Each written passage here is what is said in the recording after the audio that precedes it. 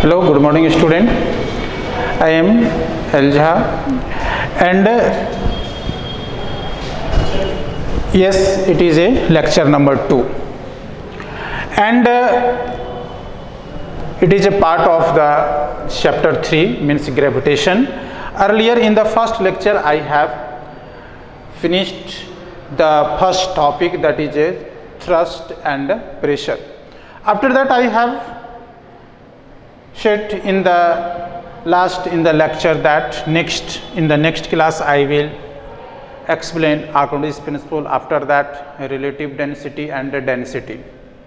Here the principle of Archimedes, Archimedes principle. What is Archimedes principle? We have to know that it is related or based on the flotation. Flotation means when any object is immersed into the fluids whether that is a liquid or gas then which rules is acting there and flotation is taking place in these sections we will learn very clearly with the help of the principle given by the Archimedes. Archimedes principle is in this way when an object is wholly or partially immersed in a liquid or fluid it experiences a buoyant force or upthrust in upward direction which is equal to the weight of the liquid displaced by the object. Means according to the principle we can say in the simplest language that suppose that there is water in a bucket and it is completely filled up to the brim.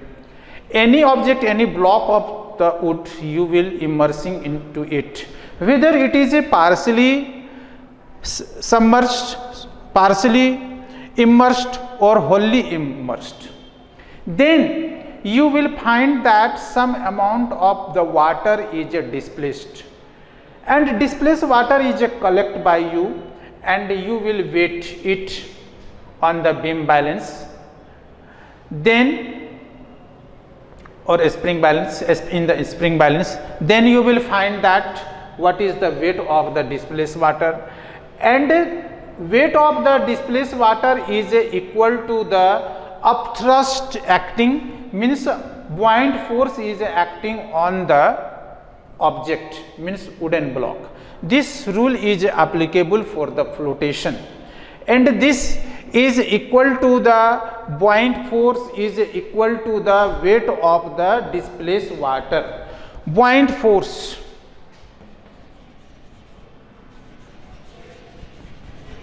buoyant force acting और upthrust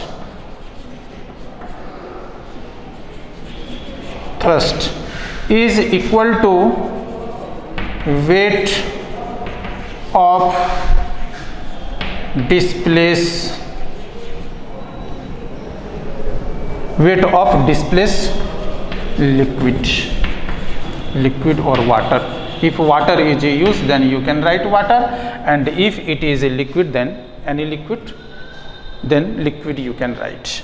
This is the rule for the Archimedes and Archimedes principle is applicable and it is used in in the different field suppose that uh, flotation of the ship is based on the application flotation of the boat flotation of the submarine etc are using the Archimedes principle but application of the Archimedes principles are also there that is called the RD.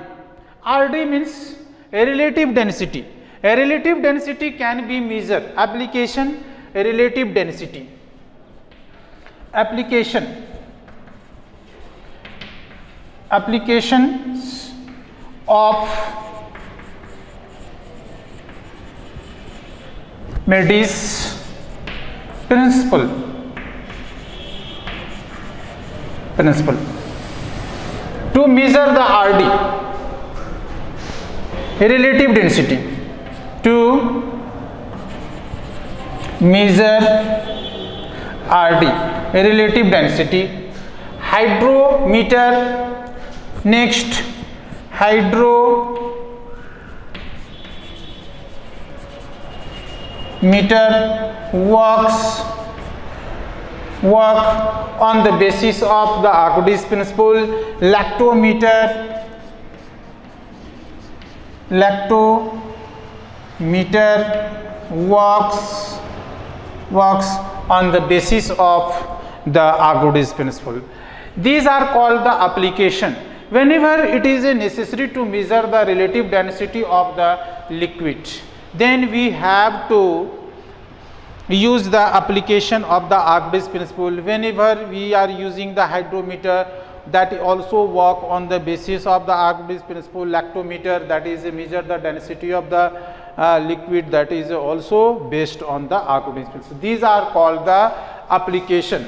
The application of the Archimedes principle is very wide and uh, after that the flotation the principle of the flotation we will learn in this section that is also based on the Archimedes principle. Flotation, principle of the flotation.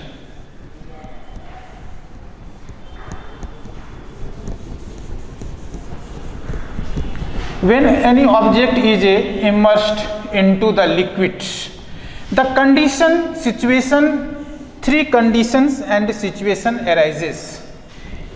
The object will completely float partially float and it can sink completely sink. That is depending upon the three condition. Condition i will explain here. We have to know the principle of the flotation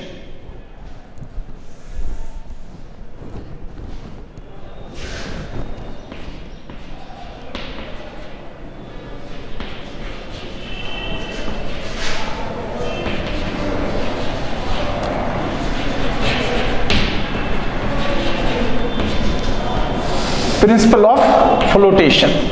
Principle of flotation means when any object is a immersed into the liquid then there may be chances what will happen. If any object is immersed into yeah, put into the water then there will be the three condition completely flotation or partial flotation and uh, or it will sink. This is the depending upon the principle of the flotation. Suppose that this is a, a bucket and uh, there is a water.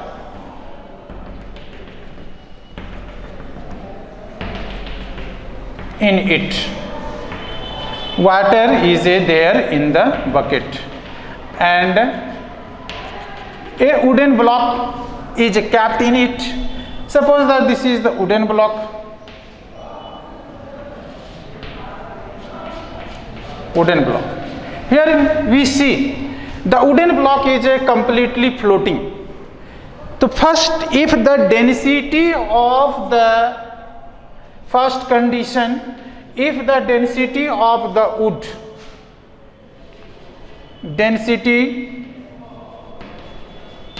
of wood.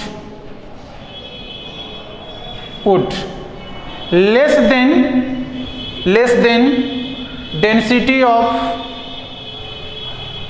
density of liquid. Liquid or water. Then complete flotation.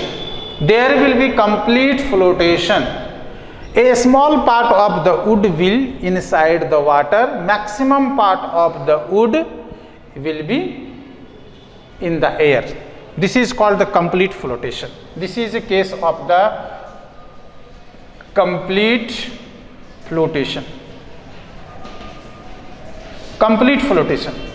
Second situation is density of the object or wood, whether you can write wood or object object density density of wood or object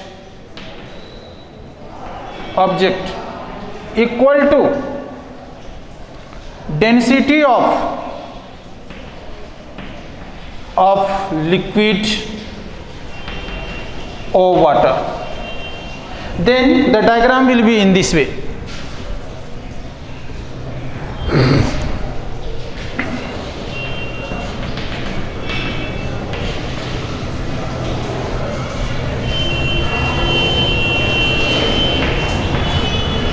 this is also condition.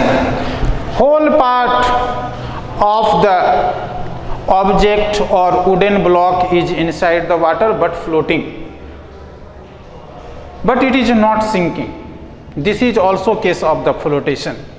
Third case this is a due to the density of both are equal. This is a partial not complete flotation partial flotation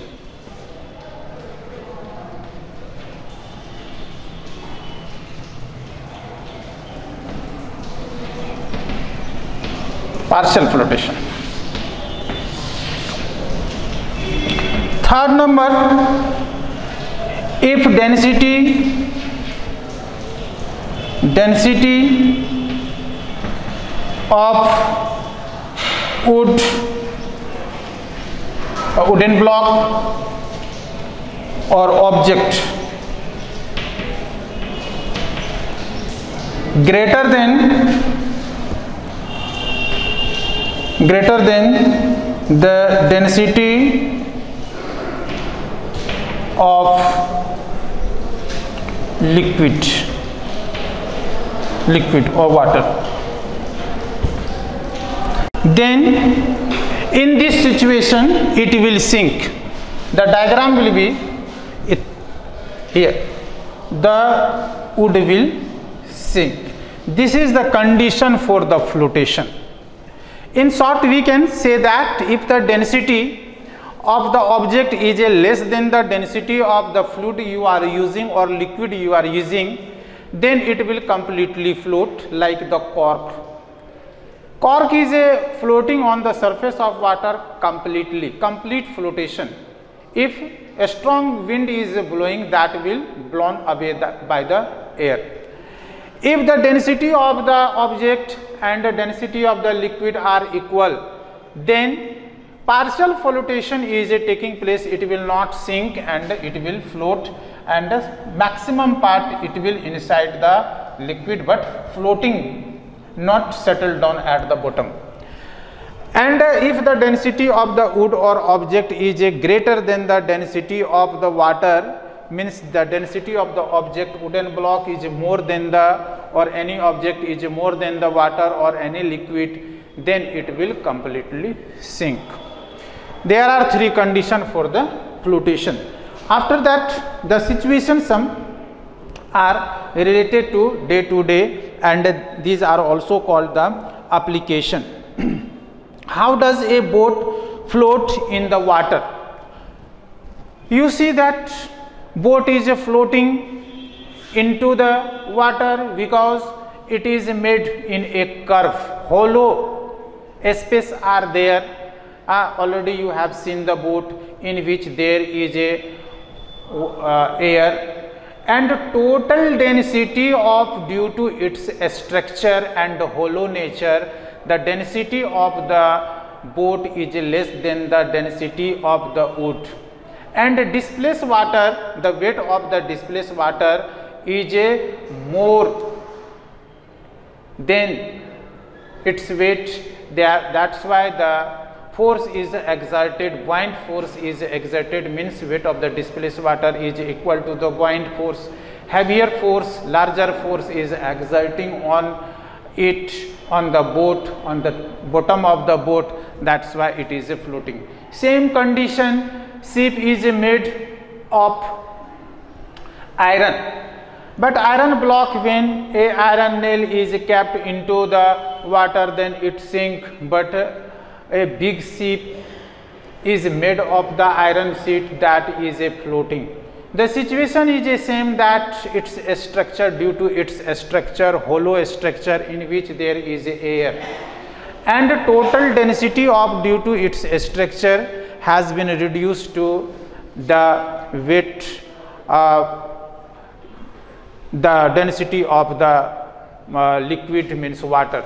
That's why maximum buoyant force is exerting therefore it is floating uh, into the water. That is depending total weight uh, of the ship is a comparing to the buoyant force is a less and the buoyant force is dominant over the weight of the uh, um, ship and it is floating and its total density of the ship made in this way hollow nature has been reduced. That's why it is a floating. Next case is density of the floating object. I have explained why ship is floating. That is the main situation. The total density has been average density has been reduces. After the next we have to explain the uh, density. Next topic is a density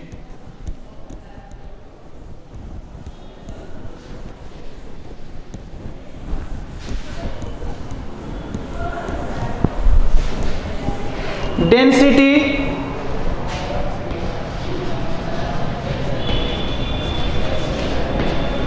density mass per unit volume mass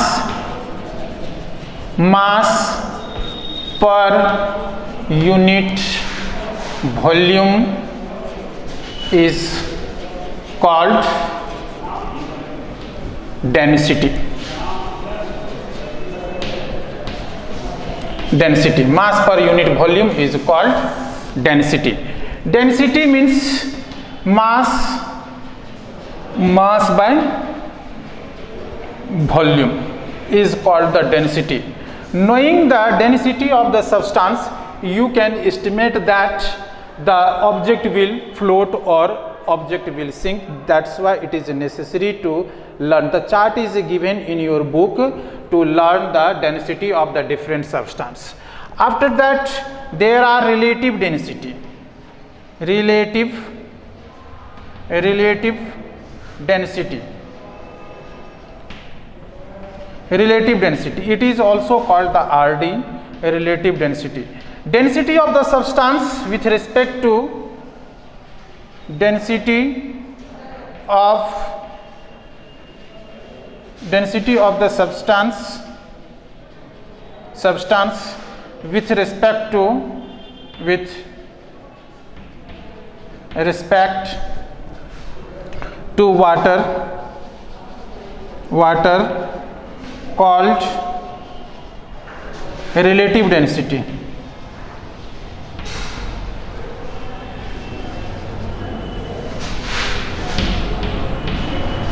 Relative density. Rd equal to density of the substance t of substance by density of the water